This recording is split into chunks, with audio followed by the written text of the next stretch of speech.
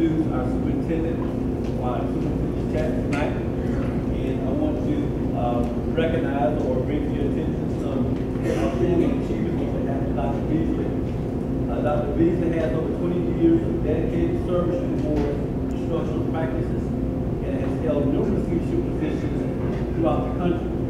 And Dr. Beasley an has the impeccable ability to improve student academic achievement, strengthen community engagement, and also develop sustainable strategies for community engagement. Dr. Beasley received his Bachelor of Science degree in mathematics from University of Matauapa, Montevallo, uh, a master's degree in mathematics education from Samford University, and an educational specialist and a doctorate degree in education with an emphasis on educational leadership from Samford University as well.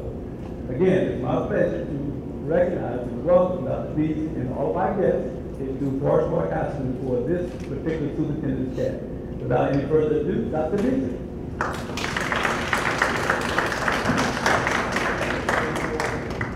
Thank you, sir. Let's give our principal a great round of applause. We always welcome coming to Forest Park High School. Mr. Manning said the students are doing well this year. I said every time I come over here, they seem to be doing well. So thank you, Mr. Manning. Well, welcome everyone.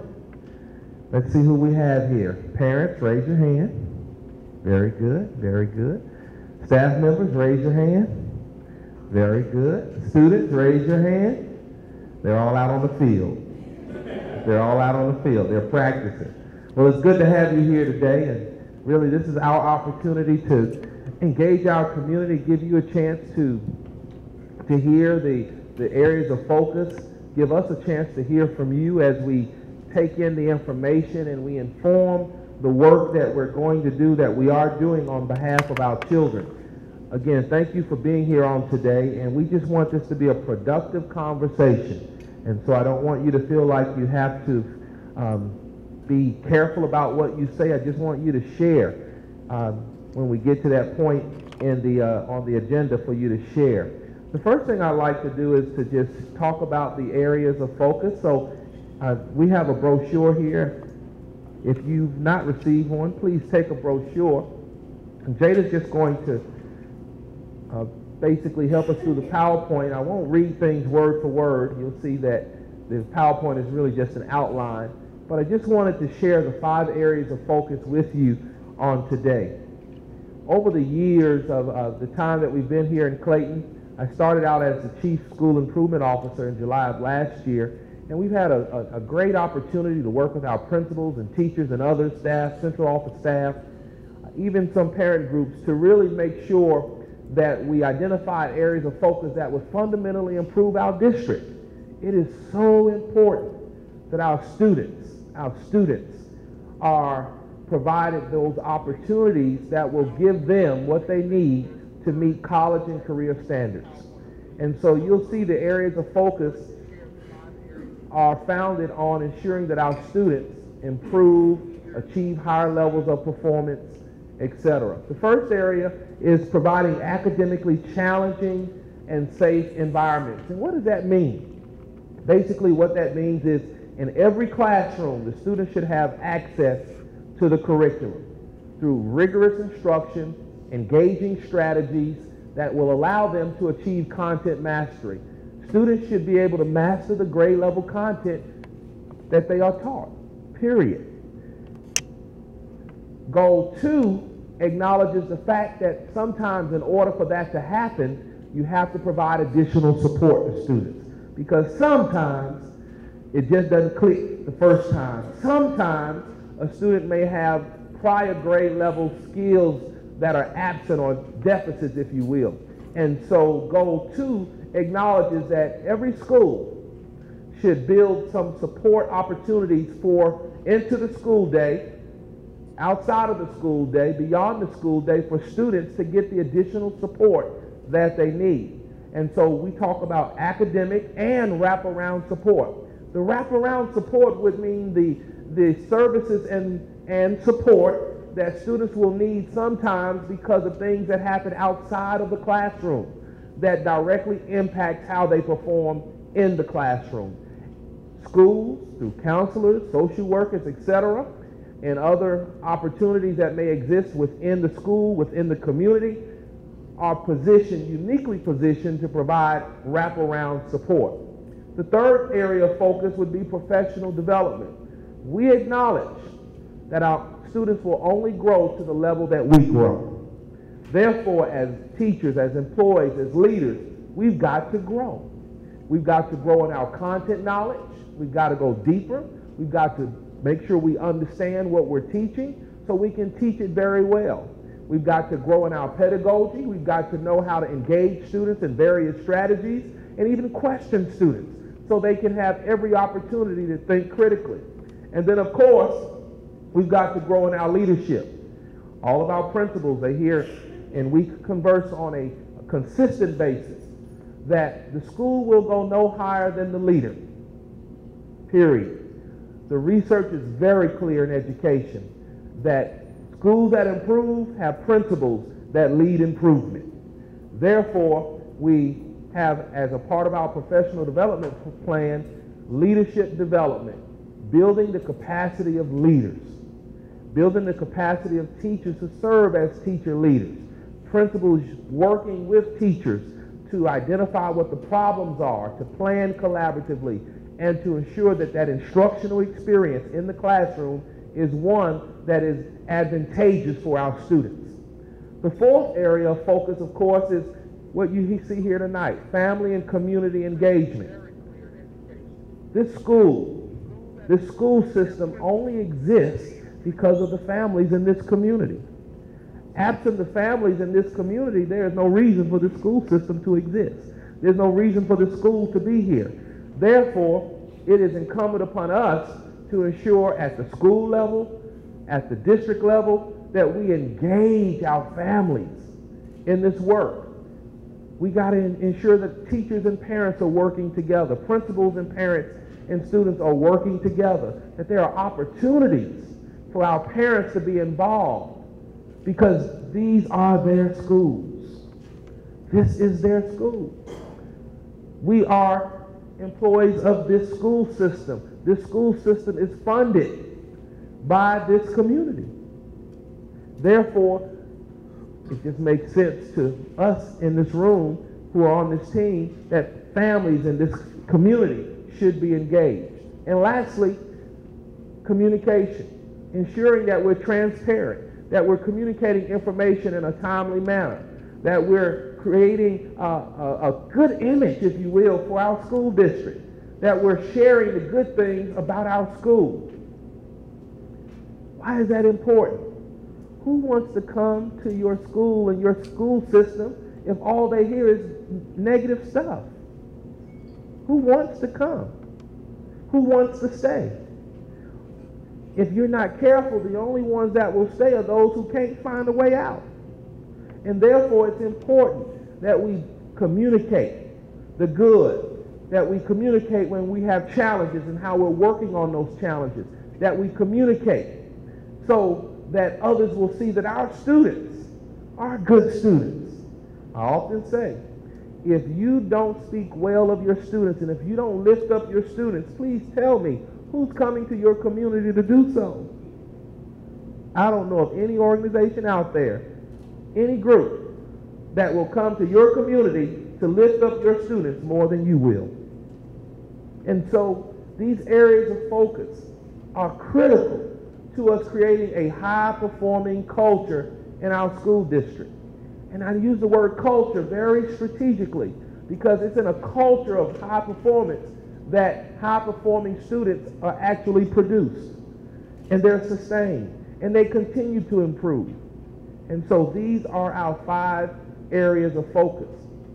You will see, and uh, Jada will post this PowerPoint if it's not already posted, but you'll see that there are actions critical actions that will be occurring in all of the areas curriculum and instruction, human resources, school leadership and improvement, and our business services department, in safety and security. You'll see very critical actions that will be occurring over the next several years that will support creating a culture of high performance. We've got to be more efficient. We've got to be more effective.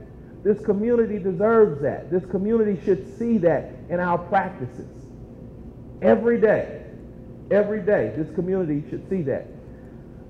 Data showing you here just one graph that we use with our principals because we know that the research is clear. There are nine characteristics of high performing school districts, schools and school districts. Our framework, our work is to ensure that those characteristics are deeply embedded in our practices here in Clayton County Public Schools. Will it happen overnight? It will not happen overnight. Will it require a lot of hard work? Of course it will. Anything worth having is worth working for. And so you'll see that our actions over time will support the deepening of those goals, the processes and supports, those nine characteristics. And notice number three, effective leadership. That includes the superintendent. That includes the cabinet. That includes the central office. That includes the principals. That includes classroom teachers as well. Effective leadership is very important to ensuring that those nine characteristics, to some degree and in some, in some combination, are evident in our school system. It's important that we understand what we're working to do. Jada, if you will allow your staff to just share the, the data here. And I want all of you, well, I may have one here. I want all of you to see why this this is important for us to this work is important. These areas of focus are critical to what we've got to do in our district. And one thing you'll see, you'll learn this. I don't mind sharing with people the data. I don't have anything to hide. Because the data is not just a reflection of me, it's a reflection of who? Us. It's a reflection of us. Now, my role as a superintendent is to work with all the employees and parents and all in the room to assure that we, we improve this data, that this data goes in the positive direction. But I want you to see, and I've only given you portions of the data, but it allows you to see what our challenges are. And so on the first page, page one of six, you have grades three through eight data relative to ELA and mathematics. Now, just in case you didn't know, we take Georgia milestones in the spring of every year. There are four performance levels the beginning level and the developing level. Those are the two lowest levels. And then, of course, if a student is performing on grade level, you have the proficient and the distinguished level. So BL is the beginning level, DL is the developing level, PL is the proficient level, and DS is, would be the distinguished level.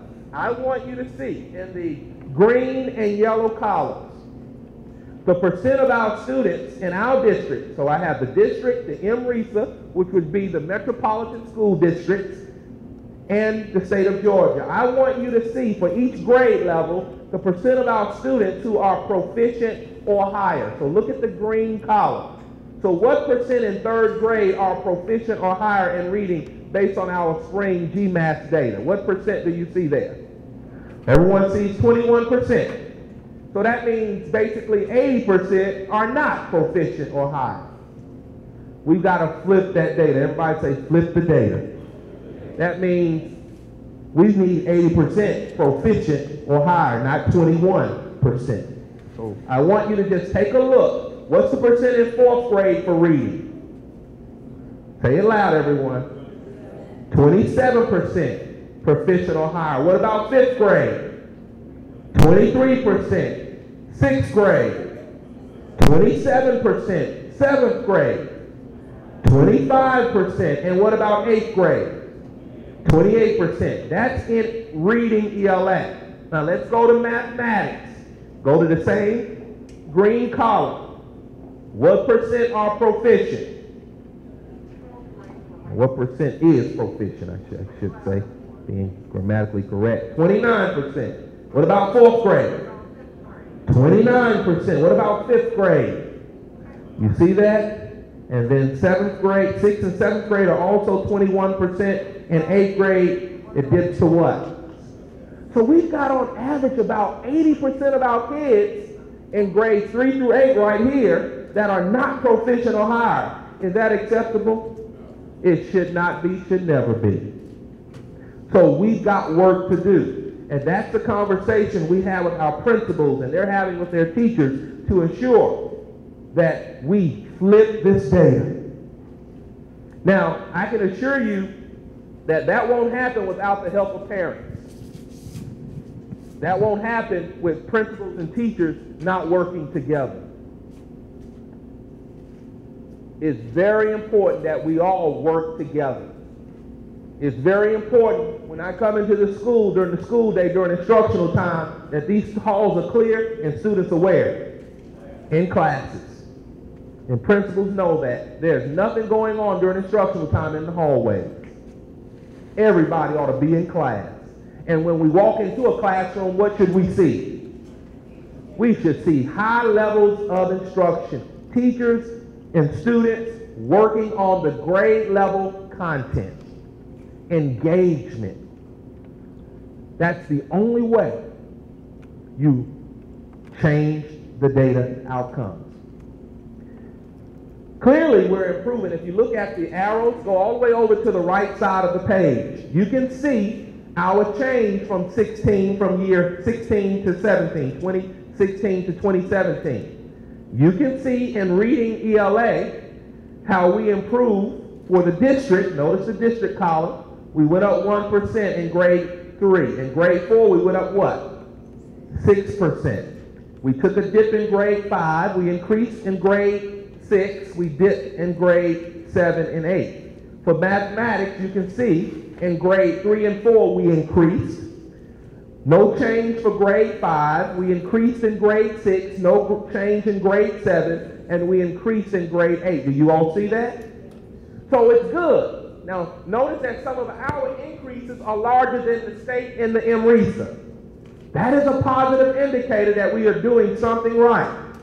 Because as long as our increases are larger than the state in the MRESA, then eventually we will close the gap between our system and the the average of the MRESA and the average in the state, which is good. So we acknowledge that we are making improvements, but it's so important, so important that as a district, as a district, we understand what our challenge is. And that's why we got to get all, all get on the same page. If we want our students to perform at higher levels, and they will, and they can, then we have to all ensure that we're working collaboratively to that end. If you will, flip the, flip the page. Look at page two of six. You see page two of six? The page numbers are all, at, all the way at the bottom. I want you on page two of six. This is third grade on page two. Locate Clayton County. Do you see Clayton County? Locate the percent that was proficient or higher for 2015-2016 for Clayton County for language arts. What percent do you see? 20.1, right? What was that percent for mathematics? 23.1. That was for 2015-16. Now go over to 2016-2017. For Clayton County, what's the percent for language arts? 21.3%. And what's the percent for mathematics? 28.9. Look at the change. The change in find the percent PL. We saw an increase there. 1.2 for language arts and a percent PL for math, 5.8. We improved. But I want you to look at the data for Clayton County and compare it to the data for the other districts in the metro area. For 2016, 2017, let's just look at that year. For language arts, look at our percent, 21.3. You see that? Now go down that entire column. Is anyone lower than ours? So what does that mean? Well, we got work to do. I'm going to just tell you, we're at the bottom. And I'm sorry, but I have a problem Not necessarily with starting at the bottom, but I have a big problem with staying at the bottom. Y'all hear me? Because our children deserve better than that, don't they? Oh, yes, they do. And so this just shows you, this is third grade. Let's flip over to page three of six. You can see the data for eighth grade. And I won't go through it. You can see it. You know. You can see what it what it says there. But I want you to see again. Are we where are we? At the bottom, aren't we? I want you to see. That's our reality. And that's why we've got to establish and, and we do have a sense of urgency about this. If you will, turn to page four of six. We were discussing, we were just discussing grades three through eight, but I want you to see how our high school students did in the spring of this year. If you will, locate ninth grade literature. That's the first end of course test that you see there. What, what percent does it say in the green column was proficient? 34%. American literature, what percent? 29. Algebra 1, what percent? Now, I want you to take a second to compare our percent to the average for the MRESA in the green column in the middle portion of the chart, of the table, and then the average for Georgia. For ninth grade literature, our average for uh, proficient is 34. The MRESA is what?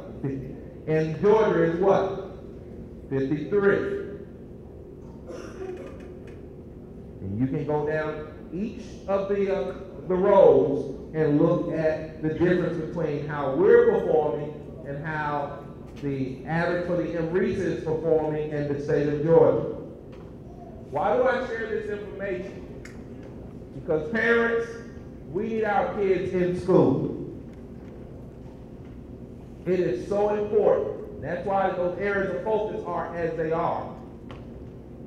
Because it is time to change these outcomes. Would you agree with that, everybody? Oh, yes. Let me tell you why we got to change it. Because the life of this county and this community depends on these outcomes. Businesses look at our data when they make a decision to locate to this county. People make a decision to buy or not buy your house based upon this data. Some people don't think it matters, but it really does matter. It really does matter. So, I want you to see on page five or six, turn to page five or six.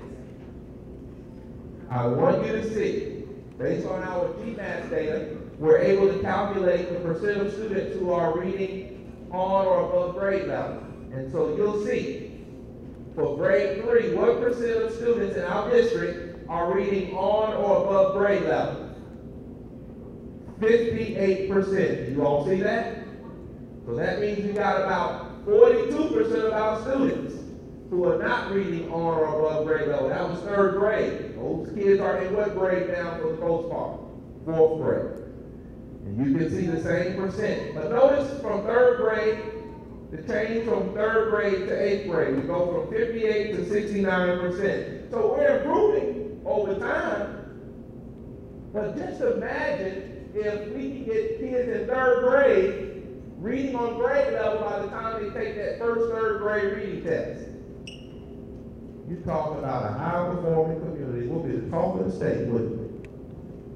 It's a half person. And guess what? You all, we can do it. Because we know who these kids are. We've got to provide them the instruction that they need and the interventions that they need in order to move them to a higher level of performance.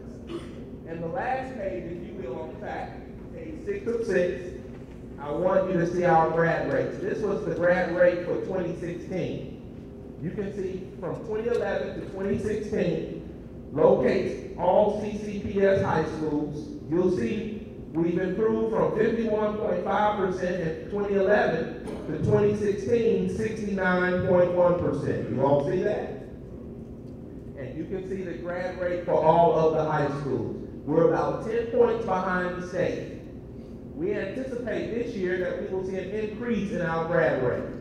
So all the data has been submitted to the Department of Ed, and so we're ready, uh, waiting, awaiting the official release of the 2017 four-year cohort grad rate.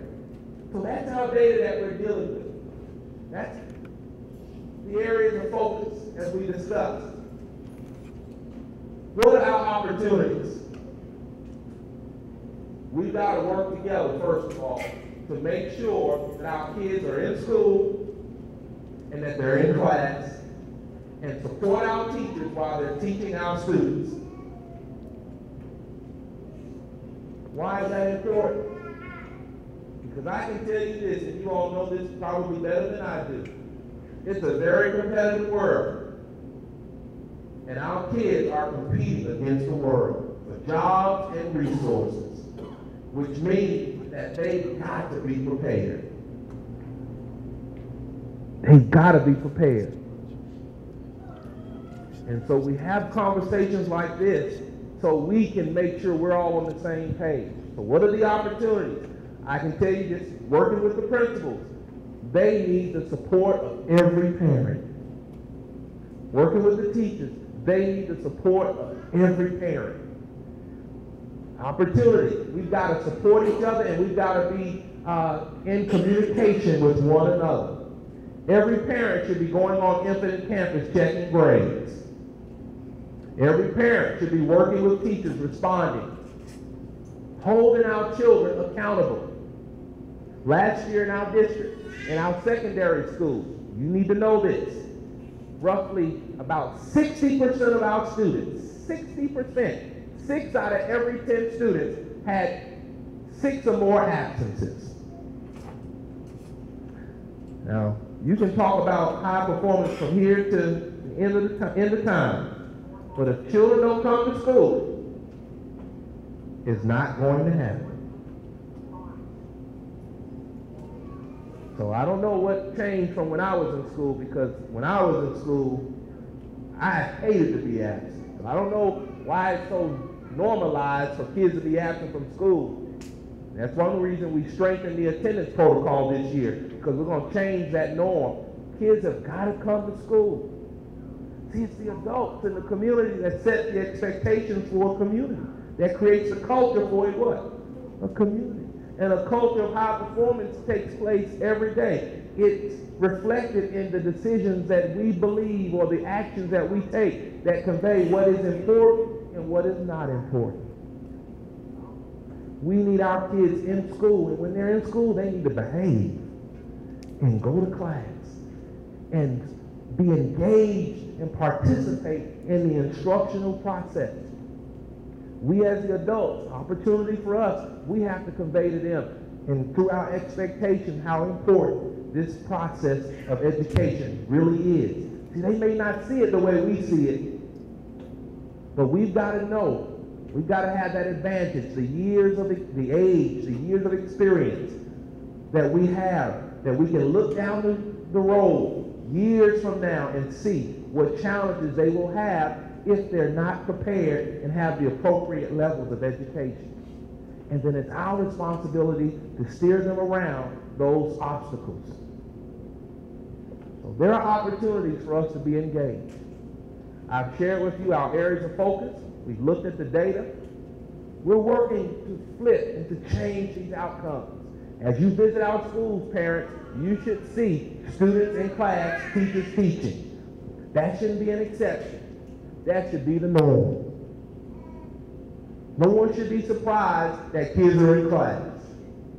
We ain't giving out awards for people in class. That's the way it should be. Because that's foundational. That's a prerequisite to changing the data. When you walk in these schools, you ought to walk into very positive, healthy environments. Administrators and students and teachers and, and parents all working together to change those outcomes. So at this time, I am going to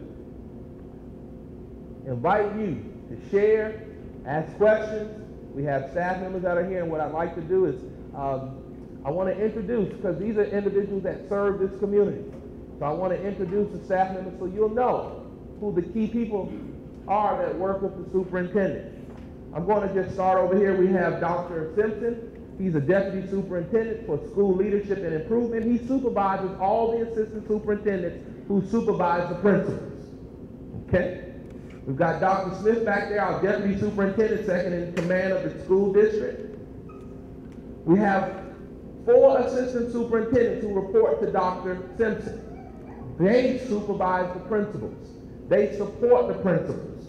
If there are issues that leave the schoolhouse, they are often the first person to deal with the issue. So I see Mr. Guiney, assistant superintendent. I thought, uh, Mr. Did I see anyone else? You directly report to Mr. Guiney. Very good. Do we have any other assistants that are here? No? Okay. So, but that's important that you know who your deputy superintendent is and your assistant superintendents. I want to introduce Dr. Sandra Nunez, our deputy superintendent for student support services and federal programs. That includes special education, counseling, etc. We have here our chief for safety and security, Chief Treywick. We have one of our new members on board for a new area because it's so important. Mr. Wendell Stever, he leads our engagement, governmental relations, and partnerships so we can get more support in our schools. We have our communications, public relations, and marketing department, Ms. Jada Dawkins. She leads that department. These are individuals, we are here to serve our community. I want to introduce um, Mr. Kenneth Thompson, our Chief Financial Officer. Very important. I see Mr. Rod Smith, our technology uh, guru or officer, if you will. I'm going to just introduce the others because this is an important area. Mr. Kenneth Thompson leads operations. A part of operations would be the, transportation department, and most of you probably have a kid that gets on the bus. Y'all see that man right there? He's the one. He's the one, Mr. Harold Walker. He's the one. And while we have others, Ms. Trina Smith works with special ed. Let's just introduce her. I see our director for HR, uh, Mr. Greg Curry, Damaris Garrett. We've got Mr. White who works in communications. We've got Dr. Wiley who works with our school choice and fine arts programs. But we're here to serve you. We're here to serve our community. Our job is to make sure this data changes. To support, and it's clear, we're clear. There are two groups in our school district, those who teach and those who support teachers. All of us are those who support teachers. That's what we're here to do. And we're clear on that. All of us are evaluated on results. On results. We expect to see this data, our outcomes in this district improve. And guess what, y'all? It ain't personal. It's because our children deserve that. So, I hope I introduced everybody. So at this time, we'll open the floor for you to share. Jada, did we have anybody sign up? Yes, sir. So far, we have four individuals. First is Hugh Bivens. Oh, Hugh Bivens. Mr. Bivens, you got a mic for Mr. Bivens?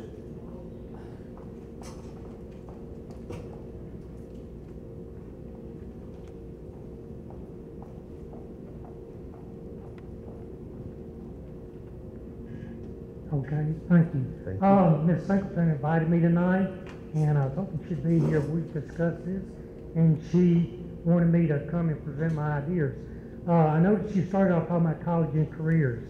Does that include technical education? That is correct. Yes, sir. Okay, well, when I came along, uh, if you didn't want to go to college, they put you over to the side. They didn't, they didn't, you know, want to fool with you. And I noticed here lately, we, we're getting, want to get back to technical schools because, uh, colleges are putting out kids that have high debt and can't find a job. So, um, I was asking Ms. Singleton, she said she worked on a, a thing with the, uh, fire department where some of those students could, uh, get involved with the fire department and eventually maybe get on. And I said, well, why can't they do the same thing with uh, electricians, plumbers, and heating and air? You got those in your schools already, tradesmen already there. So if you could mentor those some kind of way, especially the kids that don't want to go to college, that if they're out of school, maybe they found that they can't keep up with the regular studies, so they don't get enthused about coming to school.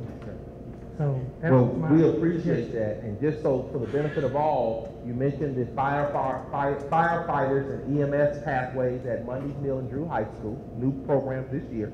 But we are having conversations right now, we're looking at all of our career tech programs, and every high school has career tech programs. But we are looking at some possibilities relative to uh, HVAC. We're looking at um, some of these areas that even we have a need for to produce some uh, workers in our school system. And so we appreciate you sharing that. But I want to make sure everyone knows that every high school uh, has career pathways. We even have a, uh, at our Perry Center, we have opportunities there. We're looking long term, we're looking long term to hopefully create a career technology center because there are some programs that are very expensive to, to suit out a lab. So we're looking at creating a district-wide uh, career technology center that will also be able to support those careers that we know that clearly there's a need and we would do well to prepare our students to fill the, the needs in those areas. I mean, they're not gonna make tons of money doing repair work, but it's a, it's a starting position better than minimum wage. Yes, sir. We agree totally. Very good. Thank you. Next, we have Ms. Angeline Butler. Hi. What key areas, if any, do you feel um, your local elected officials can support you in this process? Well, that's a good question. As a matter of fact, we met with them last night as we were discussing a draft of some legislative priorities. Uh, one, one area that we believe that they can support us in it would be to continue to advocate for uh, increased funding at the state level. While the state has uh, increased the education budget, we are noticing that of course, with austerity cuts, we, they pull out so much money from our budget, and we're paying more and more money for employee benefits. Right now, employee benefits comprise almost 27% of our budget, and that expense is continuing to increase. Well, if the state doesn't give us some money to, to mitigate for that increase, it is unsustainable if it continues to rise. So we believe that if we could get more funding, you say, why is that important? Because as long as you continue to increase the benefits, then that takes away money that I need to hire teachers. Uh, if you're not helping me address that. So that's one area that our elected officials can help us with, and they're committed. Now, we met with them again last night, and they helped us, they're helping us to formulate this legislative priority or these legislative priorities. I think another area would be to ensure that our county as a whole uh, is really at the table. That when policies are made, that we're the fifth largest, you all know we're the fifth largest district in the state. There should be no decision made about education and we're not represented at the table. Because 54,000 students are impacted in our district. And so just representing us at the table. If you know of some legislation that will have some consequences or impact, let us know. Invite us to sit on the committee to represent. There's no reason why um, myself or my staff or other teachers in this district, principals, should not be invited to be a part of those conversations when legislation is being considered. Committees are being formed to study the impact of legislation. There's no reason for our district, again, the fifth largest in the state, not to be at the table. And so we should always, always be at the table when decisions are made that will impact our district. And those are just a few things, but a, a good start. Uh, and also helping our parents to, to come out and support the en- endeavors. Thank you. Next, Ms. Janet Matthews. Man. First of all, I want to say, yes, I'm Janet Matthews. I'm the Adolescent Health and Youth Development Coordinator for the Clayton County Board of Health, and I'm still trying to get that meeting. Very good. We're gonna get you. Okay, but I want to say, first of all, um, this is the second meeting I have attended, and I'm very, very, uh, it's really a good feeling.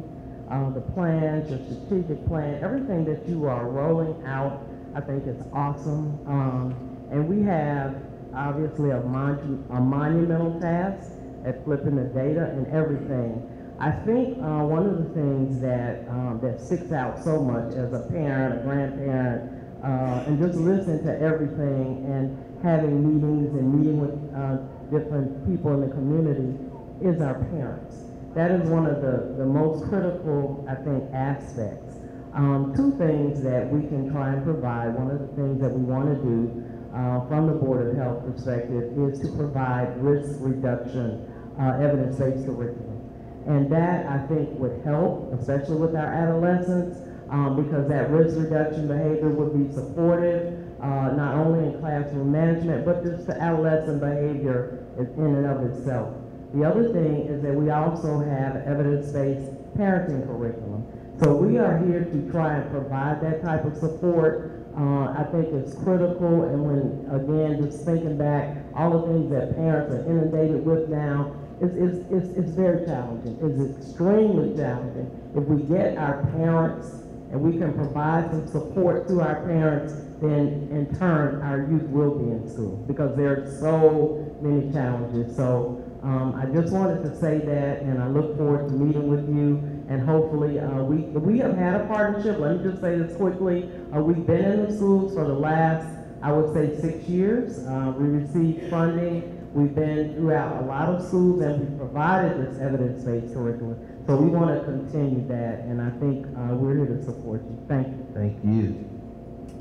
And next, we'll hear from Representative Valencia Stovall. Good evening, everyone. Good evening. Um, I first want to commend um, Superintendent and his staff uh, for doing an outstanding job. We, as you did say, we did have a meeting on last night uh, with the elected officials talking about uh, priorities uh, for the school system and how we could be more supportive and work collabor- collaboratively together. And I did want to say hello to Mr. Manning. Um, you are in District 74, so welcome to District 74. um, the question I had, and, and it's coming from the, on the state level, uh, we've been really rolling out and really pushing hard for Move On When Ready. And uh, for those who don't know what Move On When Ready is, it allows our high school students starting in ninth grade to attend high school and college at the same time with no cost to the parents. And we also have another program through Move On When Ready, which is the alternative graduation program, where if the student uh, completes at ninth and tenth grade EOCs, all eight of EOC courses, they can leave the high school and go full time to the college, whether it's the four-year or the two-year technical, no charge to the parents. And um, so I've been on a, a strong mission uh, because there's no income uh, verification when it comes to that. You have to have a certain income to participate. But the question I have is, one of some of the things that moving forward uh, with the school system, how you all definitely be promoting that more, because I do run into a lot of young people and parents they have no idea, they don't even know that transportation is available because we provided that in the budget uh, for the schools to apply for that particular grant for helping with transportation and even covering books and all of that. So that's a question that I have. Very good. Thank you, Representative Stovall. One thing we're doing is making sure that people understand that in the state, it, it has moved away from the term move on when ready because most people don't understand what that is. And so we're using the term dual enrollment. And so we're trying to make sure people, uh, people, parents and all understand that there are dual enrollment options. Clearing up that uh, lack of uh, information. Secondly, we're working to ensure that we're expanding our partnerships. We have some schools that they're doing pretty good with uh, the dual enrollment options, but we've got some schools that clearly there's an opportunity there. And so we're working through our counseling department, our counselors, and we're working with the post-secondary uh, options that are available that students can get to in our county. Clayton State University, Atlanta Metro, Atlanta Technical. We're working with them. Uh, we've already met with uh, uh, Atlanta Metro, so we're working to establish and really reignite some of our partnerships so we can do two things, get our students acclimated and, and participating in those dual enrollment options. But another challenge that we're addressing is oftentimes they can't participate in the dual enrollment options because they can't get past the placement test.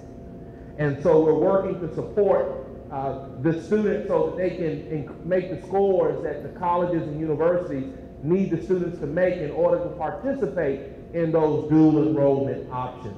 And so that's part of the partnership conversations that we're having, that if we can maybe start with some of the eighth graders, ninth graders, to get them in- involved in some type of uh, ac- academic support classes, math, et cetera, so that they can do well on those placement tests, so they can be accepted for those dual enrollment options. That's the reality, and when you look at our data as we discussed, you can see the relationship between the number and percent of students who are participating in dual enrollment options, and oftentimes it's that placement test that's the gatekeeper. And so we've got to get our kids over that hurdle. In order to do that, we've got to provide some extra support opportunities, build their confidence, their knowledge base, content knowledge, so when they take those placement tests, they can make the scores that Clayton State, Atlanta Tech, and others need them to make in order to participate in those dual enrollment options. So we're looking at our data uh, as we implement some of these strategies so we can see a consistent improvement in that area. Thank you. That's it. Yes, sir.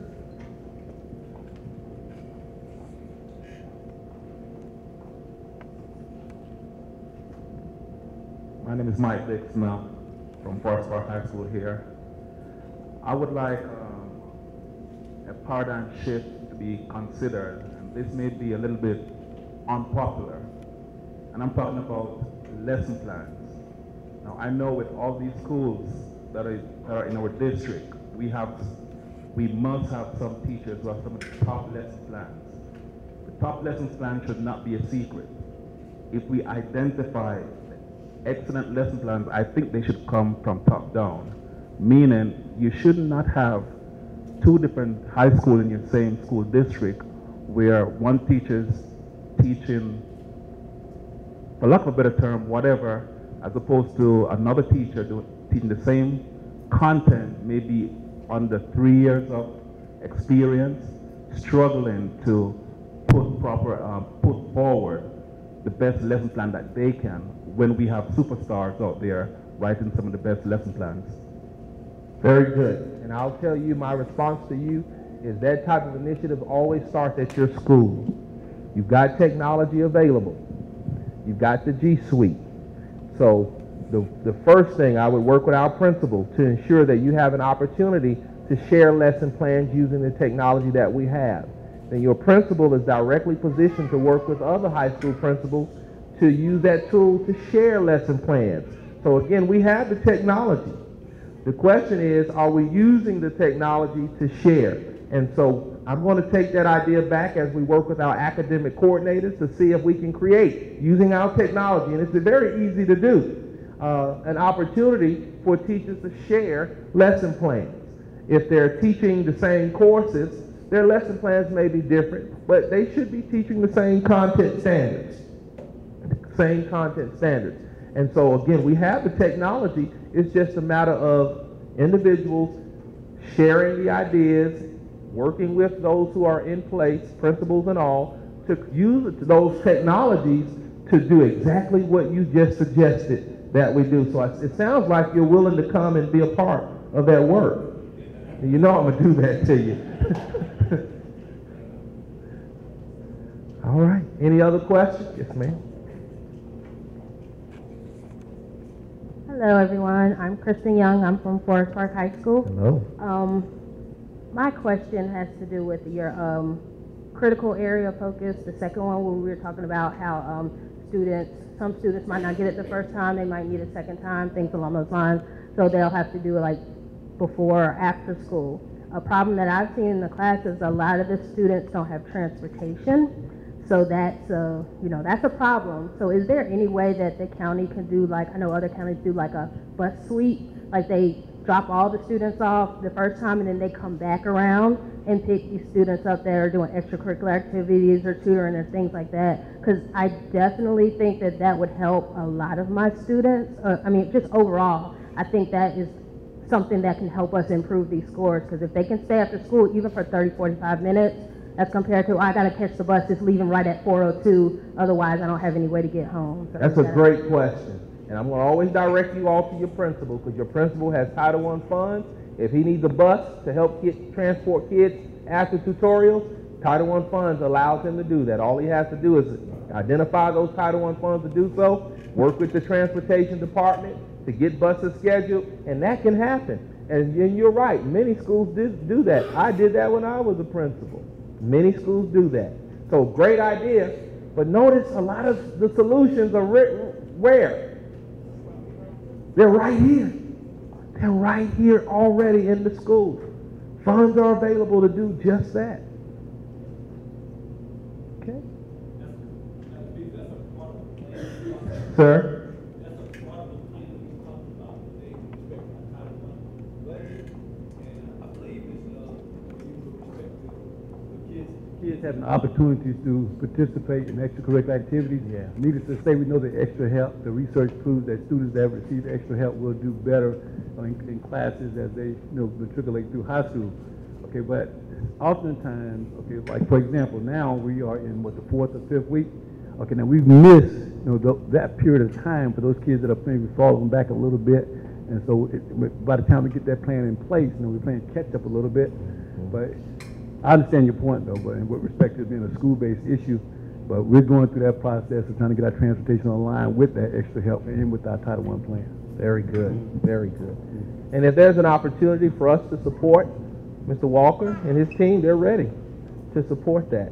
Uh, um, but I think what we have to do, and that's really the purpose of Title I funds, is it allows us to supplement what the district provides, to take away those excuses, so they can get the tutoring. And we don't want to hear, I don't have transportation. You don't have an excuse for that. That's what the funding is what, it's for. So thank you for working with your team to address that. Any other questions? Any comments? Well, thank you all for being here on today. This has been very helpful, engaging, and we appreciate. My ask of you is, please continue to stay engaged. Continue to share ideas and work with us as we become a high-performing school district. Thank you.